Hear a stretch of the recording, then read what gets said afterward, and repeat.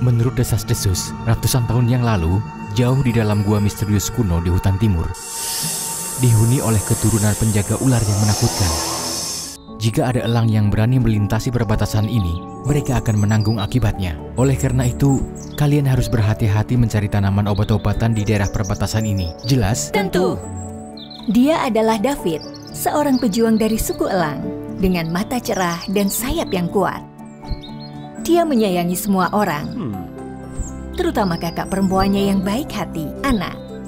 Ketika David mengetahui bahwa mutiara kehidupan yang mewakili kehidupan Elang dan Ana yang sakit-sakitan sejak usia muda, dia tidak ragu mencari obat untuk kakaknya di daerah perbatasan. Suatu hari saat melewati badai, karena tubuhnya yang kelelahan, sayap Ana tersangkut di semak-semak dekat hutan timur. David segera terbang kembali untuk melihat keadaan. Namun setelah David berhasil menyelamatkan Ana, sabaran petir menghantam tebing hingga sebongkah batu mengenai sayapnya dan membuatnya jatuh ke dalam hutan. Oh tidak, David! Di saat David jatuh, tiba-tiba sesosok ular raksasa melewatinya dan menghilang begitu saja. Namun karena hujan semakin deras, kesehatan Ana tidak stabil. Apalagi David yang jatuh ke wilayah suku ular. Ana sedih dan bertekad untuk kembali mencari bantuan dari kawanannya. Sementara David, setelah dia tersadar, dia mendapati dirinya berada di sebuah gua yang aneh dan tubuhnya terasa berat karena luka. Saat David hendak pergi, tiba-tiba seorang gadis dengan aroma misterius muncul. Ingin sekali melihat lukanya. Jangan banyak bergerak, lukamu akan semakin parah. Izinkan aku menolongmu. Gadis itu dengan lembut mengeluarkan kalungnya dan mengoleskan beberapa tetes air ke tubuh David. Membantu luka di tubuhnya berangsur sembuh. Terima kasih telah menyelamatkanku. Tapi siapa kau? Mengapa kau membantuku? Dan air apa ini? Eh, iya, aku Sapir. Aku burung tanpa sayap dengan rupa jelek. Aku tidak ingin memperlihatkannya kepada siapa pun. Sejak aku lahir, aku tinggal sendirian di gua kecil di tebing ini. Selain itu, aku sering melihatmu dan kawananmu terbang kemari. Hari ini saat aku sedang mencari makanan, aku melihatmu terluka. Jadi aku datang untuk membantu. Dan ini adalah obat ajaib yang kubuat dari tumbuh-tumbuhan langka di dekat sini. Obat ini mampu membantu menyembuhkan luka dengan cepat. Aku menggunakannya untuk membantumu agar segera sembuh. Melihat bahwa Sapir tidak ingin mengungkapkan lebih banyak tentang dirinya, David hanya mengangguk, menyimpan sisa pertanyaan di dalam hatinya dan diam-diam mengamatinya hari demi hari. Lambat laun, David menyadari bahwa meskipun Sapir tidak berbicara atau mengungkapkan perasaannya, namun setiap kali dia datang, gadis itu merawatnya dengan sepenuh hati. David juga menikmati waktu yang dia habiskan bersama Sapir. David pun menyadari dia memiliki perasaan pada gadis itu. Usai berbincang dan mengobati luka David, Sapir memberinya sebuah kalung taring berwarna merah jambu yang aneh. Namun, David mendapati Sapir semakin lemah setiap kali mengobatinya. Safir, kau baik-baik saja? David! Itu kakakku dan teman-temanku. Rupanya mereka menemukanku di sini. Oh tidak, aku tidak bisa lebih lama berada di sini. Aku harus pergi sekarang juga. Safir, aku mengerti. Kau tidak perlu panik. Aku akan mengalihkan perhatian mereka. Tolong cari tempat yang aman untuk pergi. Sapir terkejut mendengar David mengatakan itu. Tapi dia mengangguk dan pergi. Namun begitu dia keluar ke pintu belakang gua, Ana dan semua orang sudah berdiri di sana. Sapir panik, mundur selangkah. Untung saja David segera keluar untuk melindunginya. David, syukurlah kau selamat dan sehat. Tapi siapa ini? Dia adalah Safir yang menyelamatkan nyawaku. Tapi saat ini ada hal yang mendesak yang harus dilakukan. Jadi semuanya, tolong beri jalan untuknya. Dengan mata tajam Ana, dia merasakan ada sesuatu yang tidak beres dengan Sapir. Ana melebarkan sayapnya dan terbang ke arah Sapir. Membuat topi Sapir jatuh dan memperlihatkan wajah ras ularnya. Semuanya terkejut dan bersiap-siap untuk menyerang Sapir. Ana berpikir Sapir memiliki niat buruk pada David. Namun David dengan cepat menghentikan mereka dan memberikan kesempatan bagi Sapir untuk pergi. Hah, David, Kau membantunya melarikan diri? Rupanya kau terpikat olehnya. Tidak, dia benar-benar merawatku selama ini. Tidak ada lagi alasan. Semua cepat dan bawa pulang David. Tidak, lepaskan aku. Dan aku pasti akan menemukan Sapir untuk mendapatkan obat mujarab itu. David akhirnya dibawa pulang ke rumah, tapi dia masih gelisah dan menyalahkan dirinya sendiri karena tak mampu menutupi identitas Sapir. David sudah lama mengetahui bahwa Sapir adalah ular melalui aroma, gerak tubuh, dan tindakan Sapir saat merawatnya.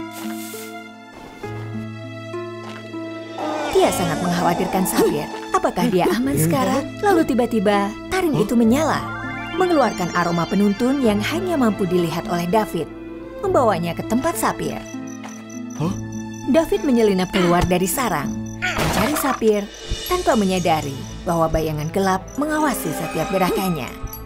David mengikuti aroma itu dan menemukan gua ular di hutan timur.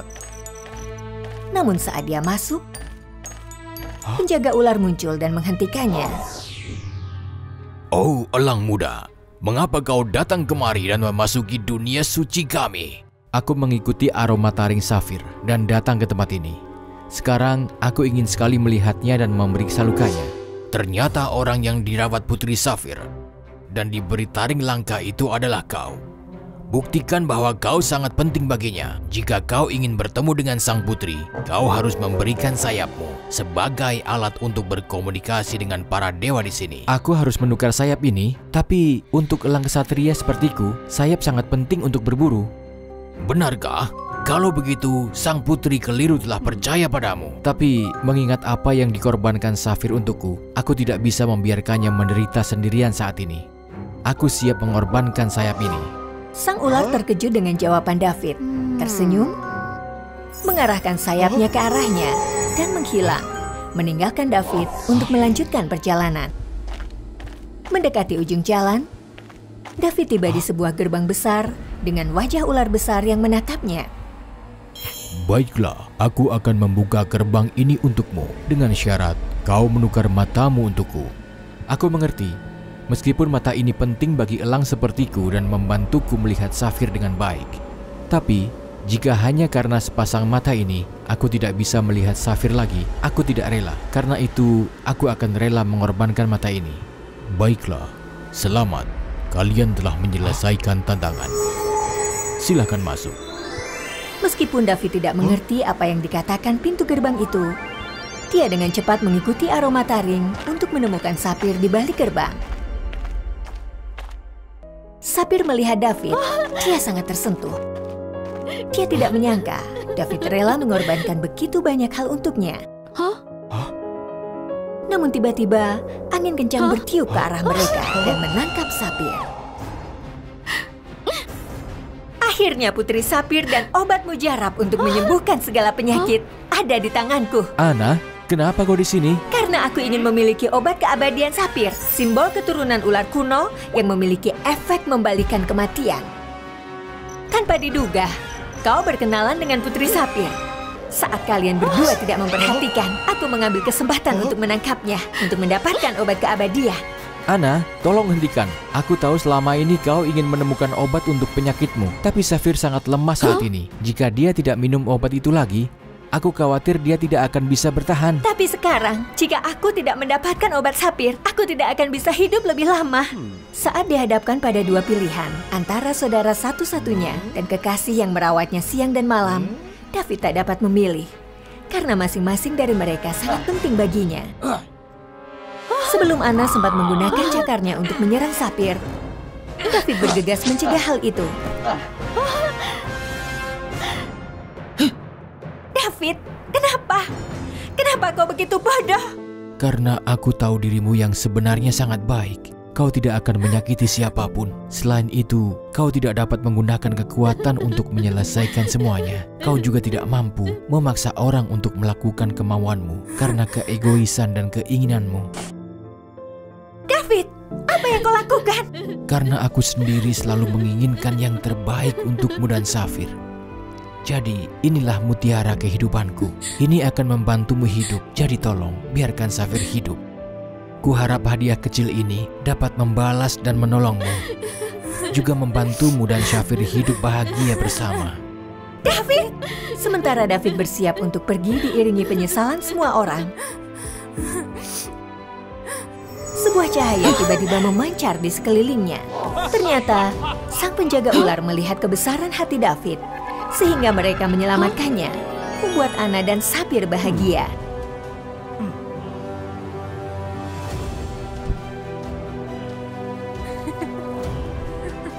David, kau adalah orang yang kaya akan kasih sayang.